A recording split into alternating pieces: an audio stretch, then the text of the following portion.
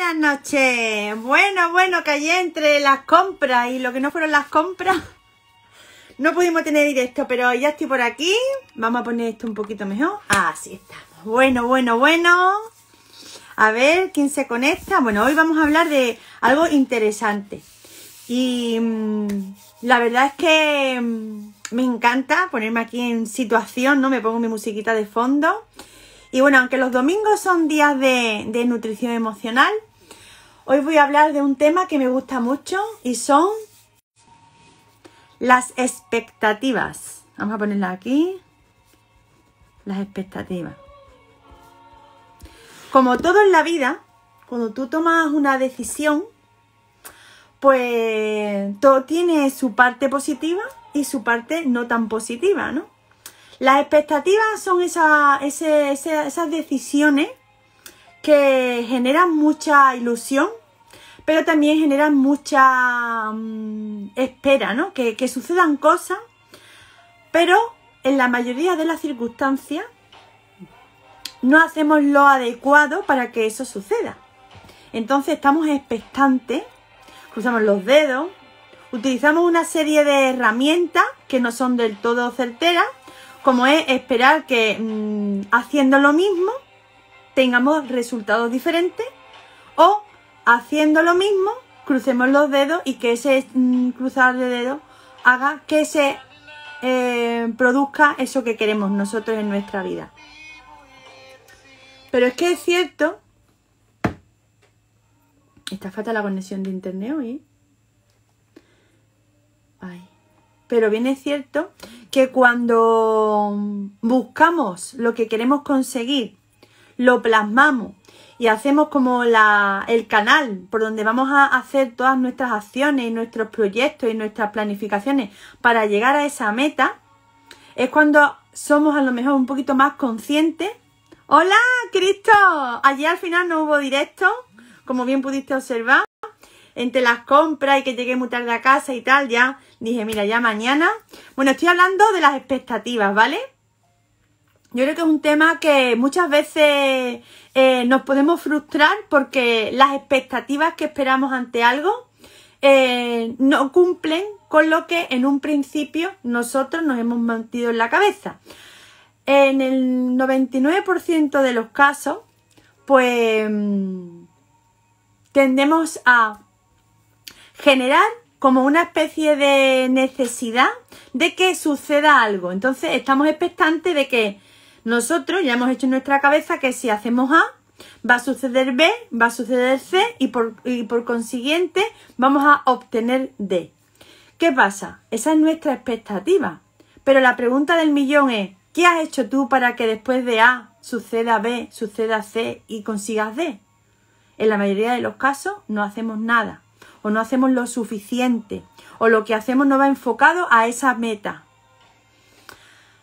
Plasmarlo en un papel, ¿no? Hace como una especie de mm, metodología o cadena de aprendizaje o cadena de trabajo o, pautas a seguir. Hay innumerables maneras de llamar a simple y llanamente tener una metodología, ¿no? Una, una, planificación, una elaboración de pautas que nos ayuden día tras día a que vayamos superando esos pequeños retos, esos pequeños obstáculos para ir consiguiendo. Pongo el caso, por ejemplo, de que si una persona quiere ser abogado, pues lo que tiene que hacer es terminar su bachiller, hacer su selectividad, sacar su nota, echar los papeles, entrar en la facultad, estudiar mucho, sacar sus asignaturas y dentro de 5, 4, 3, 10 años tener todas las asignaturas aprobadas y por consiguiente obtener el graduado en abogacía y, poder ejercer de abogado, ¿no?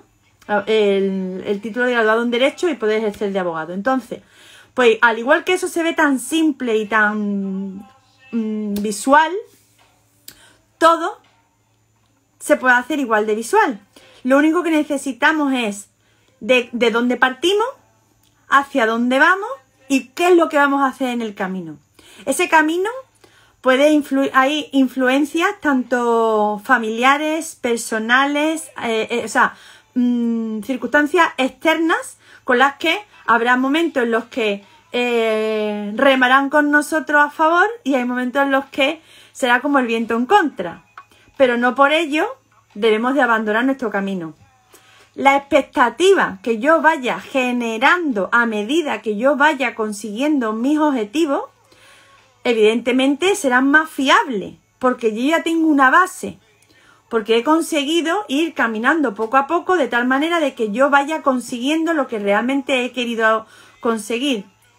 ¿Eso que me va a dar? Me va a dar seguridad, me va a dar certeza, me va a dar autoestima, me va a dar confianza y todo ese tipo de, emociones positivas en ese proceso en el que yo voy subiendo peldaño a peldaño y veo que subo el peldaño y no me caigo y vuelvo a subir otro y no me caigo, al final eso genera eh, una sensación de puedo seguir consiguiendo todo lo que yo me quiero ir planteando. ¿Cuáles son las herramientas que podemos utilizar en cada uno de esos peldaños? ¿No? Y, poder tener esas expectativas mucho más mm, tangibles y, materiales, ¿no? Eh, o sea, que materialmente la podamos tener eh, más a la vista.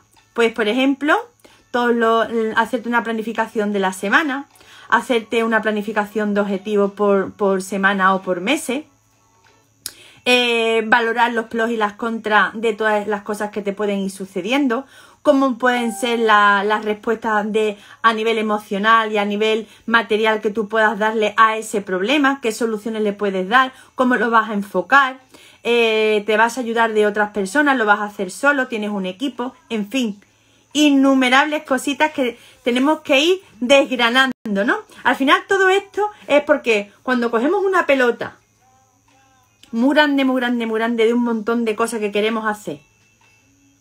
Y tenemos que ir con la pelota a cuesta.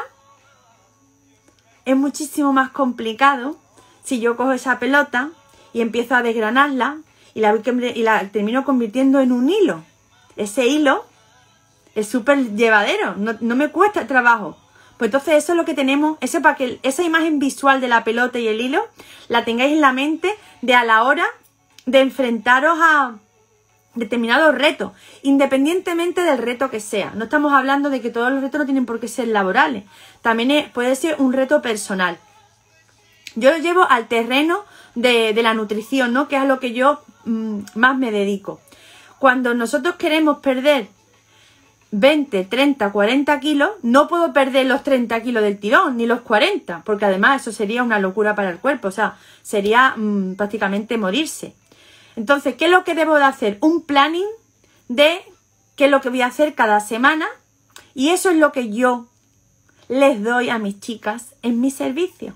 Les doy la planificación hecha de toda la semana a nivel nutricional, las comidas, los menús, súper flexibles, de todo tipo, no hay nada cerrado, aquí todo es flexible. ¿Por qué? Porque la vida es flexibilidad, no tenemos que quedarnos con todo metido en una caja, ¿no? Todo muy cuadriculado, todo muy pensado. No, no, no, no. Aquí se trata de, con los elementos que tenemos en el día a día, o sea, con la vida en sí, utilizar las herramientas que yo voy proporcionando para que vayas creando un hábito poco a poco y en ese hábito vayas incorporando esos hábitos positivos, esos hábitos saludables, tú vayas comprobando por ti misma cómo afectan a tu cuerpo, cómo afectan a tu mente y automáticamente decidas incorporarlo a tu vida. A medida que vaya pasando el tiempo, esos hábitos se van incorporando poquito a poco, poquito a poco. Y cuando pasa un tiempo, además de que has conseguido esa pérdida de peso, has generado una autoestima y una seguridad en ti impresionante porque te has dado cuenta a ti misma o a ti mismo que pasito a pasito has logrado lo que durante tantísimos años has intentado solucionarlo en un periodo de tiempo muy breve. Porque cuando nos ponemos a dieta, tenemos la mala costumbre de querer encasillarlo y decir quiero perder, hola, buenas noches, quiero perder 3 kilos en una semana, quiero perder 5 kilos en, en un mes. Y al final todo lo que sea encasillar independientemente de que ya sea a nivel nutricional o cualquier cosa en la vida, la vida fluctúa y la vida se mueve y es libre y va y viene. Y al final todo ese tipo de cosas es importante que nos hagamos a la idea de que tenemos que fluir con la vida, que tenemos que adaptarnos a esos buenos momentos, a esos momentos un poco más complicados, pero que independientemente de lo que nos vaya sucediendo, aprender que en el 99% de los casos todo depende de nosotros, la actitud. Eh, os cuento una anécdota. Yo el otro día, bueno, por motivos que todavía no, lo sé explicar con mucha claridad, pues me han nombrado la oyente de la semana de, las mañanas aquí, ¿vale? Y me llamaron el otro día para grabar el programa y lo primero que dije fue, pues claro, ¿no? Por mi estilo, buenísimos días, ¿cómo estáis? Entonces me dice, vaya actitud, ¿no? Al final, todo eso eh, llama la atención porque en el 99% de los casos siempre me voy a ese, a ese extremo. Hola, buenas noches. En el 99% de los casos lo que nos sucede es que cogemos el teléfono con apatía, con falta de energía, con muchísimas ganas de ventilarlo rápido. Al final todo ese tipo de cosas se nota, se transmite. Al final no solamente eh, transmitimos con lenguaje verbal, sino como diría mi amiga Elizabeth Roto, transmitimos muchas veces con el lenguaje no verbal, que ese muchas veces no lo controlamos.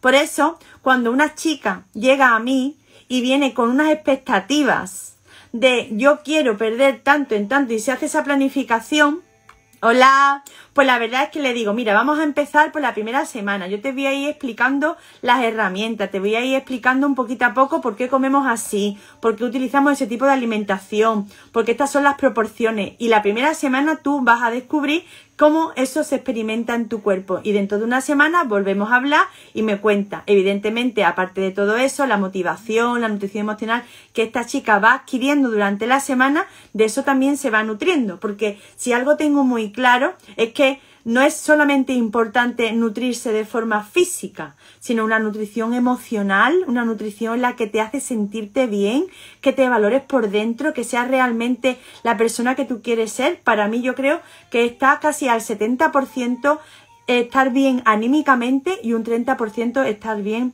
físicamente. Porque cuando uno está bien de forma anímica, todo lo demás va correlativo.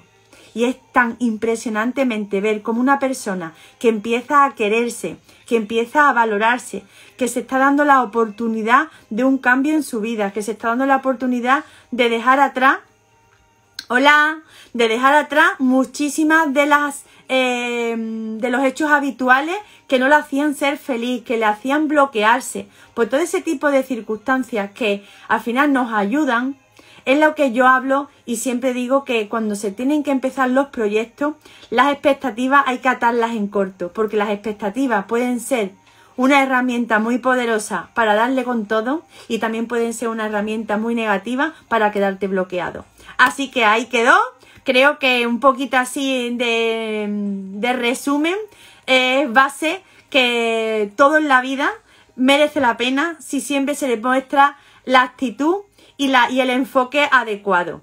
Siempre que vayamos a empezar cualquier cosa, mi consejo es planificarlo un poquito, no querer conseguir lo que está en la cima, porque de hecho cuando se sube a cualquier pico se va escala, escala, escala poquito a poco, ¿no?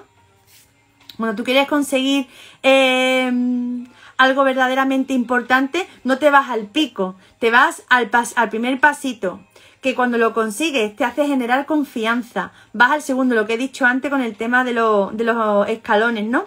Yo subo el primer escalón, tengo confianza, voy bien, me maneo bien, domino el terreno. Qué bueno es eso de cuando vamos a empezar a hacer algo y el miedo a lo desconocido, que también es otra de, de las cosas que va enlazada con las expectativas, es cuando empezamos cualquier cosa y no tenemos ni idea de lo que nos puede pasar de por dónde nos van a venir los balones o los tiros y ese, ese miedo escénico de para dónde tiro, ¿no? Esa es una de las de la, de la mm, de la base prácticamente de casi todas las mujeres que han empezado conmigo para una pérdida de peso, el no saber por dónde empezar. Y que yo le dijera, venga, pues vamos a empezar, vamos a hacer esto y vamos a hacer esto y, y aquello y patatín y patatán y mira, y esto cuando esto... Y me dice, ay, todo más caído qué bien. No me tengo que complicar la vida. Me das esto, me das aquello, ay, esto también. Ah, pues sí. Ah, pues cuando quieras, Y cuando tenga una duda te puedo preguntar sin ningún problema. Siempre estoy para ti las 24 horas del día. ¡Ay, qué bien, qué alegría! Un audio, mm, lo que haga falta. Y si a las 12 de la noche, sin problema. Eso es lo que yo hago. Dar seguridad. Tener la certeza de que tienes una persona que estará contigo de tu mano ayudándote. Esto es, no es solamente mis productos que son maravillosos y de los que estoy enamorada, sino de la, aparte de la compañía que me respalda, sino de ese trato excelente, brillante y maravilloso que tengo con cada una de las mías y de los míos, que también tengo hombre. Y es que me siento dichosa y afortunada de poder tener la posibilidad de cambiarle la vida a una persona. O sea, ¿hay algo más bonito que eso? De sacarle una sonrisa, de que se sientan bien, porque muchas de las que llegan, que hace mucho tiempo que no sonríen, que hace mucho tiempo que no se miran en el espejo. Hay muchas de las que tengo que les da pavor salir de compra, porque no les gusta su cuerpo. Qué pena. Yo he pasado por eso, sé lo que es. Lo he vivido en primerísima persona. Y a fecha de hoy tengo que decir que la mejor decisión que tomé, y con esto termino, fue incorporar esa nutrición a mi vida y bueno, ya es que con estas cosas que me emociono. Porque yo disfruté ayer comprándome ropa y en esos momentos es cuando me acuerdo de tantos momentos malos. Pero bueno, esos momentos también me han hecho aprender y también me han hecho a valorar lo que tengo ahora. Así que nada, lo dicho, feliz noche de miércoles Ecuador de la semana. Mañana es un jueves también muy, muy poderoso. Hemos tenido luna llena, movimiento, vibraciones, de estas de las que te remueven por dentro. Y mañana os hablaré un poquito de cómo ha ido ese seguimiento, cómo ha ido cada una de ellas, cómo se van viendo, cómo van evolucionando. Hablaré de algún que otro caso con las que tengo con más confianza, que siempre me gusta guardar la, el, el, ser respetuosa con cada una de ellas, porque al final cada una tiene su propia vida. Y bueno, de vez en cuando pues me dejan comentar un poquito de cada una de ellas. Y después el viernes me voy para Madrid a celebrar un fin de semana de alto impacto, bueno, todos son proyectos, todos son ideas, todos son eh, cosas para que yo vaya aprendiendo, para que cada día me sienta eh, más formada. Cuanto más formada esté yo, mejor servicio doy a mi guerrera y a toda aquella persona que quiera unirse a mi equipo, porque ganará en vida, ganará en salud y sobre todo en salud mental. Lo dicho, feliz noche y muchísimas gracias por todos los que habéis estado allí. Bueno, bueno, se me acaba de conectar. ¡Cristo! Corazón, creo que te habías marchado. Acababa de terminarlo, pero bueno, ha quedado muy bonito. Si lo puedes escuchar, te lo recomiendo. Porque todo lo que sean ideas nuevas, ideas que nos pueden ayudar. Y gracias por lo de guapa. Tú me miras siempre con muy buenos ojos. Qué bonito eres. Muchísimas gracias, Cristo, de verdad. De corazón. A ver si cuando vaya a Almería también te conozco a ti, que me hará mucha ilusión, mucha ilusión, la verdad es que sí. Bueno, pues lo dicho, feliz noche, feliz noche a todos, muchísimas gracias por todos los que habéis estado ahí. Cada día más orgullosa de teneros a mi lado. Un besazo enorme.